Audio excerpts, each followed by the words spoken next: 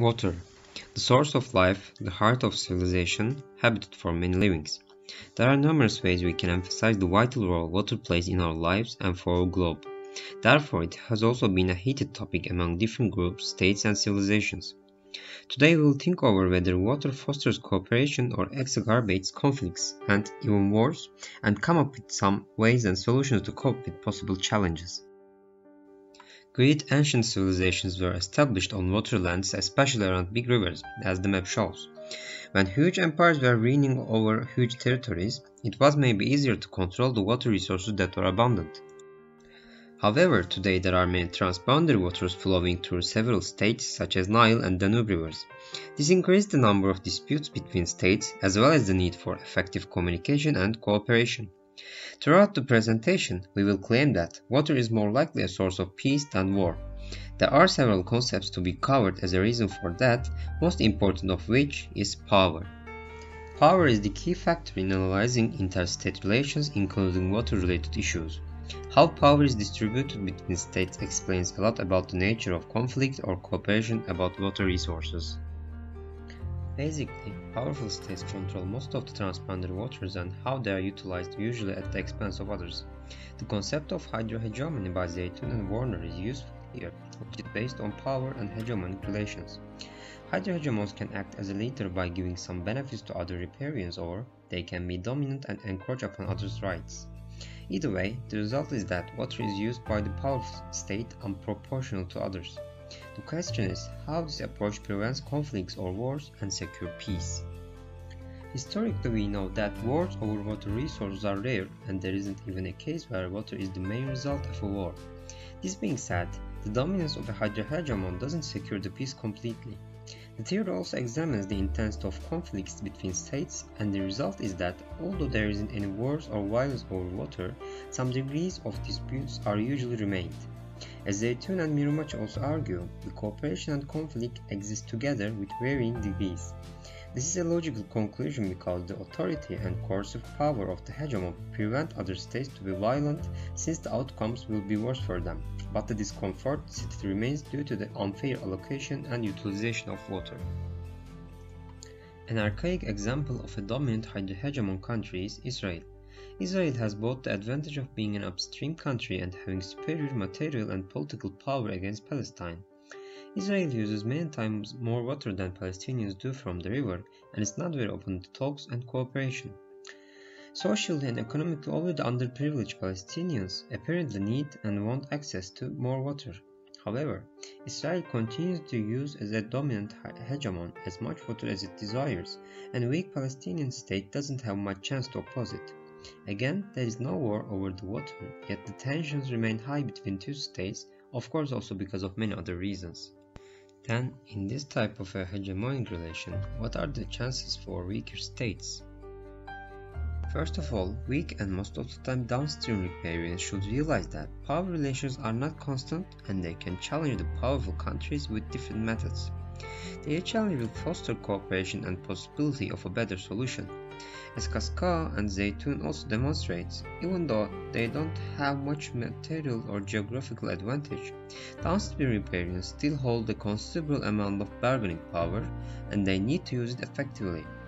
They should maintain talks and negotiations with the hegemon in all aspects so that they can come up with wise conditions and agreements for both.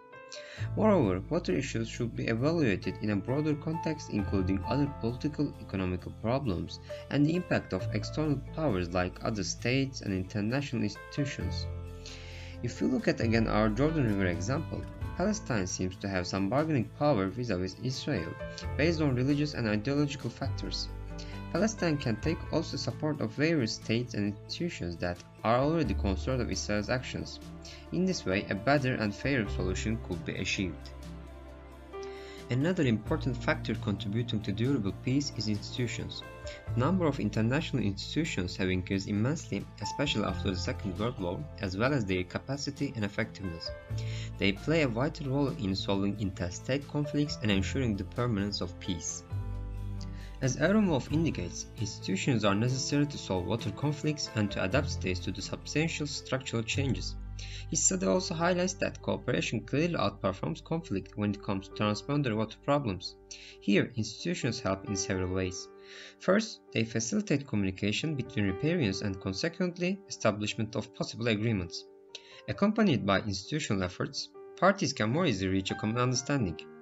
Secondly, international institutions are effective to measure and oversee the implementation of treaties and collective policies. This forces states to do their duties more attentively. Moreover, institutions can provide dispute resolution mechanisms when states are unlikely to come to an agreement. This accelerates the problem-solving process and incentivizes states to cooperate. Established with the aim of securing peace in the whole world, the United Nations is the biggest international organization with a broad scope including water. UN Watercourses Convention, adopted by the General Assembly in 1997 and came into force in 2014, established the core of the rules and procedures regarding transboundary waters. UN helps states by mitigating conflicts, mediation and dispute resolution organs like International Court of Justice. Riparian states should always take into account the provisions of UN and other international bodies to have fair and peaceful agreements. An example of a river basin specific international organization is Zambezi Water Watercourse Commission ZAMCOM. Although there have been tensions between riparian countries, they didn't turn into violence, and the establishment of ZAMCOM in 2014 eased the tensions and raised cooperation. Zambezi River Basin includes 8 riparian countries and is located in the world's one of the poorest regions. Therefore, ZAMCOM was a huge success for addressing the critical problems of the region and securing peace. ZAMCOM's objective is to promote the equitable and reasonable utilization of the water resources of the Zambezi watercourse as well as the efficient management and sustainable development thereof. The Commission also concerns with environmental problems and protection of the wildlife within the basin. Considering its scope and all riparians' active participation in it, ZAMCOM is a good example of an intergovernmental organization dealing with transboundary waters. To conclude, in analyzing water-related conflicts and cooperation, we need to examine power relations between states. The theory of hydrohegemony is useful in most cases, but not enough per se. As historical data suggests, wars due to water disputes are unlikely. This is because hegemons forces others to obey its terms, but also other riparians can have considerable bargaining power. Furthermore, power relations are prone to changes and negotiation is pursued by weak and downstream countries all the way. On the top of it, international institutions are stronger than ever and they are constant suppliers of stability. The result is that water is definitely a source of cooperation that induces peace for all. So far, it has been so, and we hope that it will be so forever.